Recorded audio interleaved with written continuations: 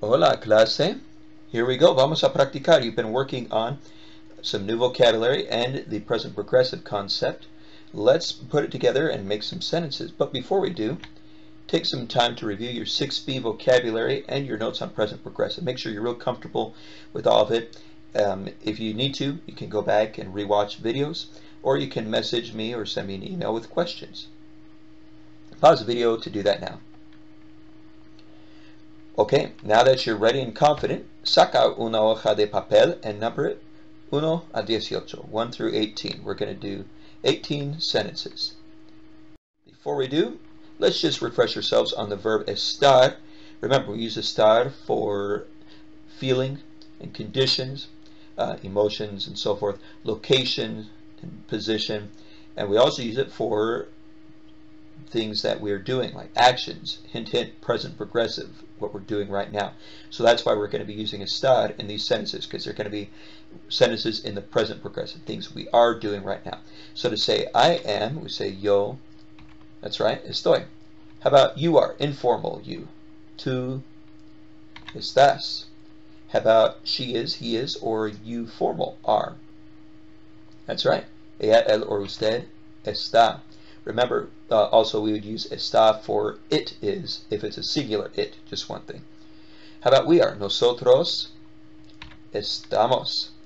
How about they are, or you all are? Ellos, ellas, or ustedes están. That's right. Notice how estar follows a regular AR verb conjugation pattern, except for the stuff in red, those accents on the A's and the Y at the end of the yo form.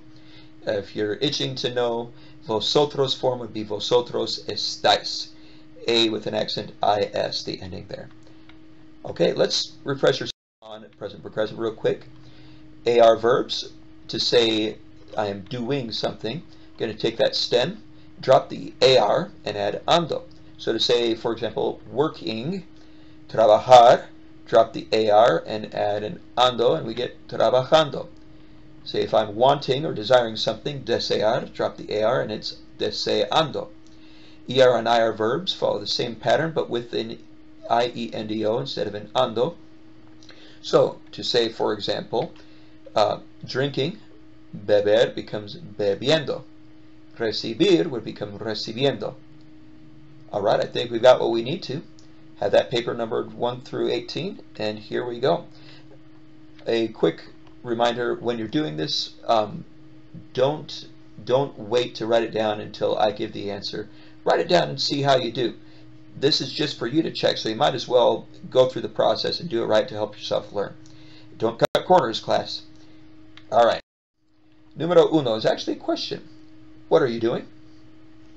And just a hint, the order of the words of the question will be you are. All right, so to do, let's see, that's hacer, right? So, oh yeah, doing, add the, drop the er, as, and then add the iendo, haciendo.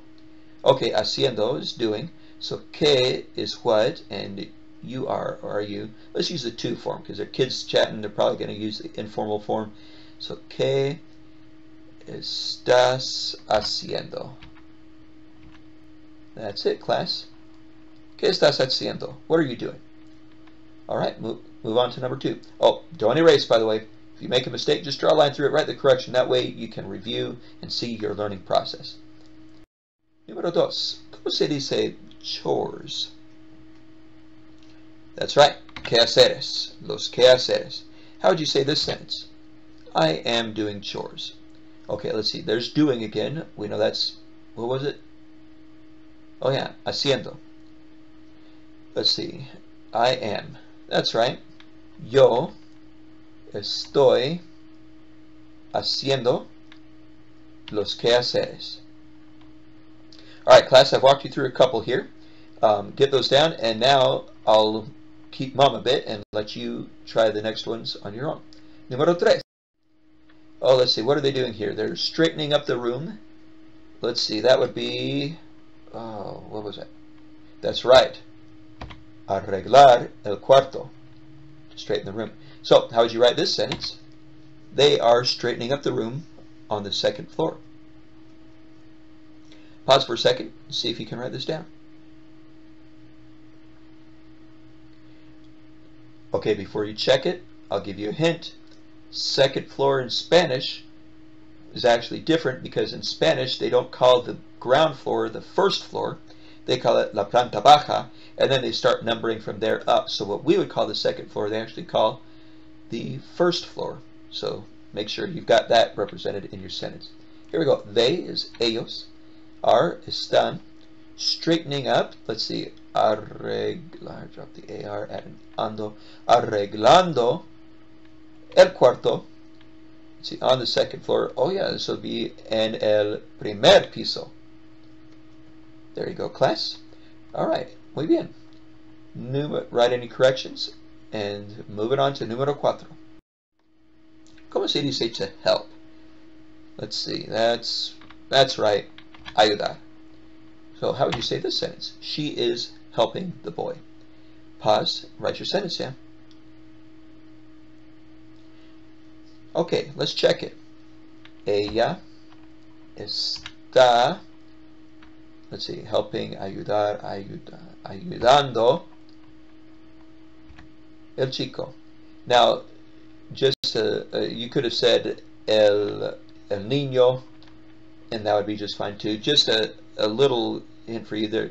In Spanish, we probably say ayudando al chico with an al, um, because there's something called the personal a, which you learn about in Spanish too. I didn't throw it on here because I didn't want to muddy the waters for you, but just so you know, that'll be coming up. You'd probably see, ella está ayudando al chico.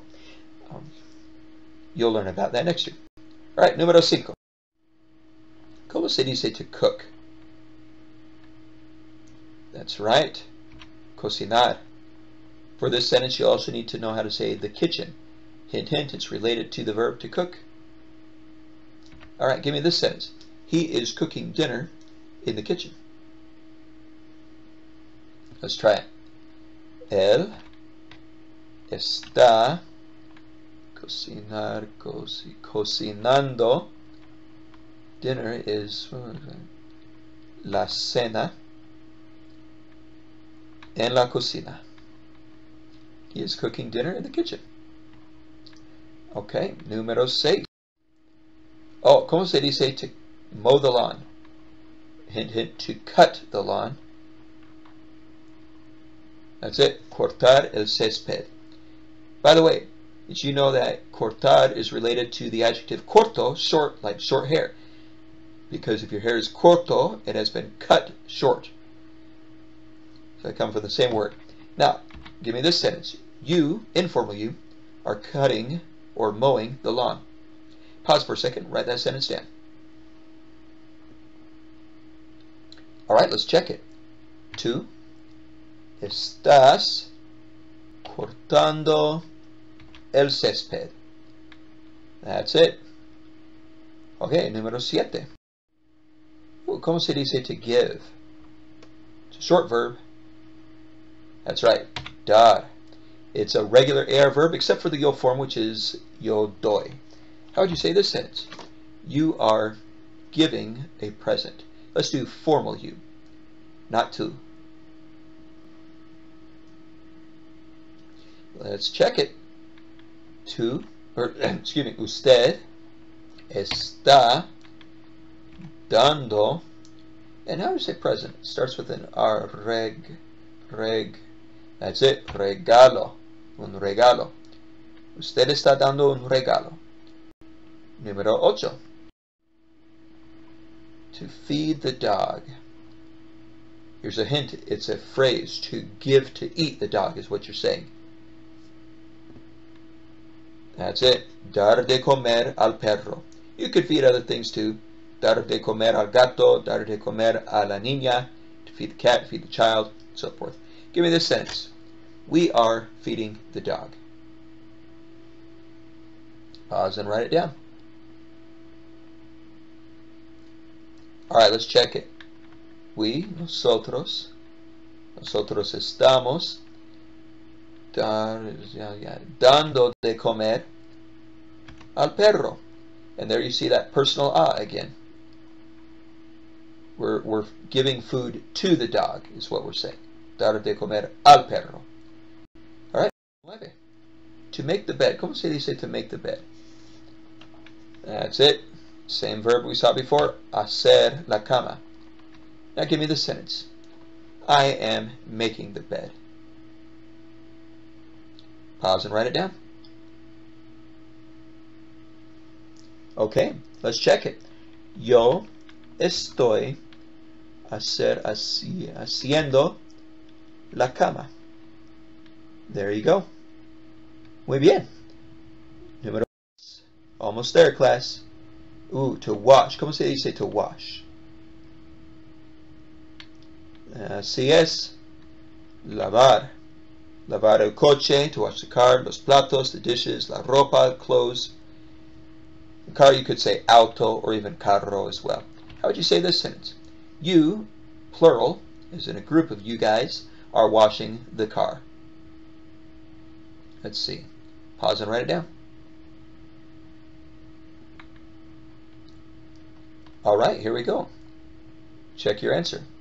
Ustedes están lavando el coche. All right. Bien hecho. Número once. Let's see. To clean the bathroom. Clean starts with L, just like lavar, but it's not lavar. That's to wash. This is to clean. Limpiar el baño. To clean the bathroom. How would you say this sentence? She is cleaning the bathroom. Pause and write it down. Let's see, let's check it. Ella está limpiando el baño. That's it. Muy bien. Okay, here we are. To vacuum. ¿Cómo se dice, dice to vacuum? Here's a hint. To pass the vacuum is how we say it. You're passing it along the floor. It's a cognate. That's right. Pasar la aspiradora. How would you say he is vacuuming? Pause and write it down. All right, check your answer.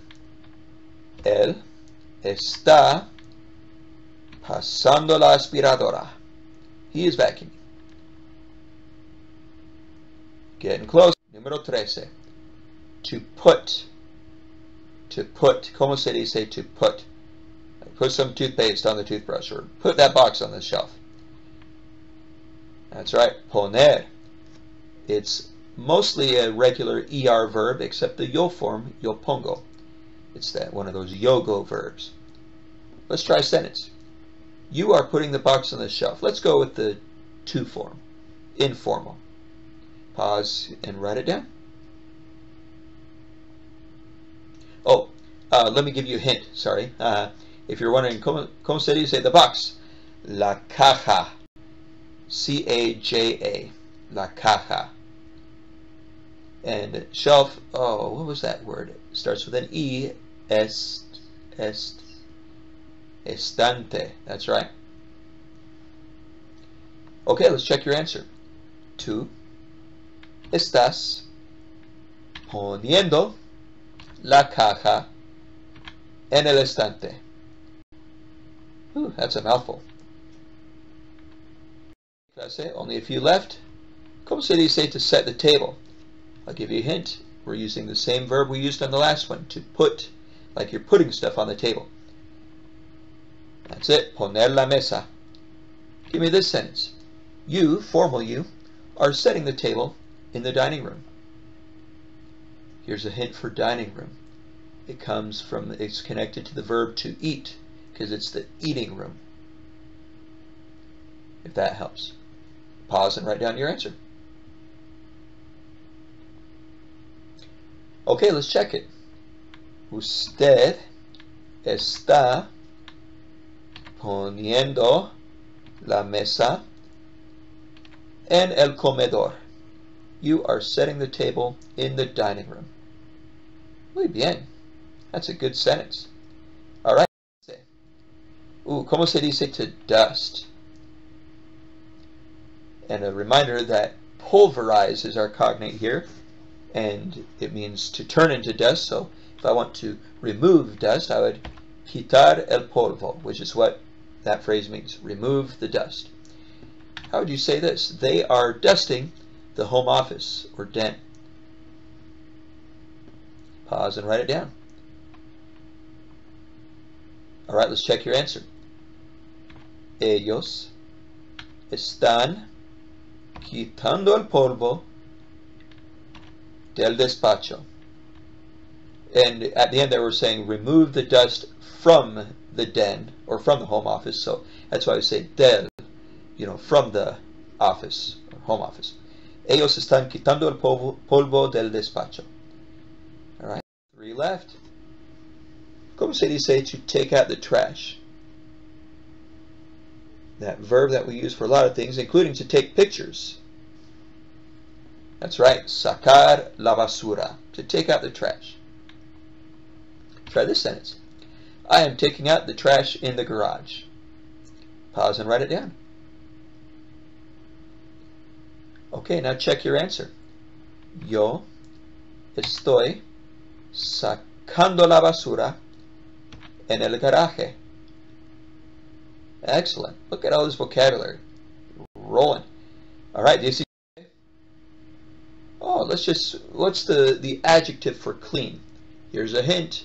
It's very closely related to the verb to clean. That's right, limpia or limpio. How would I say the stairs are clean? Don't forget to make the adjective agree with the noun. Alright, let's check your answer. La escalera está limpia. And since escalera is feminine, make limpia feminine as well. If you're asking why don't we say escaleras, Mr. Cox, because in English we say stairs, plural. Well, in Spanish they just treat it as one unit. The You might call it the, the stairway or the set of stairs. Um, so just treat it singular. It, it would be under, perfectly understandable if you said las escaleras, and some people might even say that as well, but this is probably more common. All right. And final sentence. ¿Cómo se dice dirty? You got it. Sucio or sucia. How would I say the basement is dirty? Ooh, ¿cómo se dice basement? Hmm. Let's see, it starts with an S. So, so. Alright, let's check it. El sótano, that's right, está sucio. And remember, we're using estar because we're talking about conditions here, or the state of being of the basement. All right, you got your sentences. Refresh yourself on these words real quick. Como se dice enough? Do you remember? That's right, bastante. How about this one? Como se dice which? Or which ones, if there's more than one you're talking about. ¿Cuáles? That's right. Como se dice money? You got it, dinero. El dinero. And se dice a moment, like how this picture captures a moment in time. Un momento.